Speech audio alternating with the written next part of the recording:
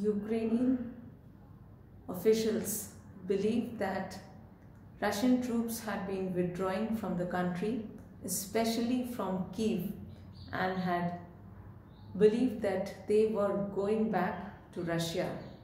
NATO had earlier warned Ukraine that they are not going back to Russia but just repositioning them and were now aiming to position them on the eastern side of Ukraine and also in the southern parts of the Ukrainian country. Now Pentagon has released a statement saying the same thing and has said that Ukraine is making a big mistake by thinking that Russian troops are going back to their country. They are not. They are just repositioning them for better military targets as in for better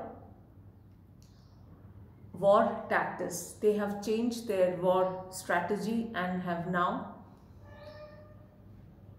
taken out a list of targets that they will be hitting.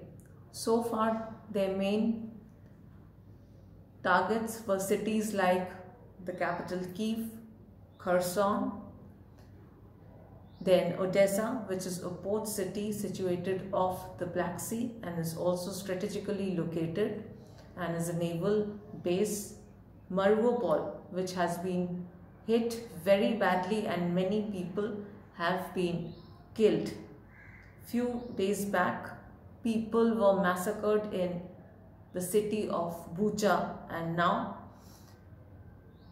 the United Nations is coming forward with reports saying that war crimes have gone up really high and countries need to take action against them. Now Russia's strategy will be changing and they will be targeting the country from the eastern part of Ukraine and some parts of the southern country. We'll have to just wait and see how this time around Ukraine tackles the Russian invasion and we still hope that the two countries will come to a peace agreement soon so that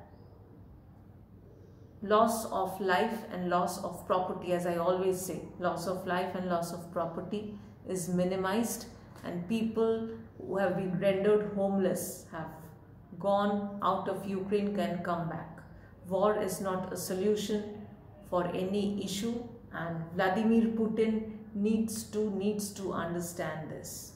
Let's keep our fingers crossed and pray that the war ends so that people can live peacefully with their families. Stay updated with me and please don't forget to click on the subscribe button. Thanks for now.